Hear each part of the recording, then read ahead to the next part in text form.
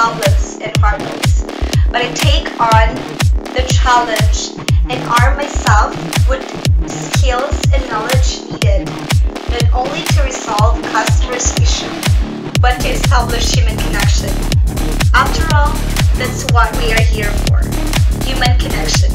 I make continuous improvement, my sounding credo in every call that I do.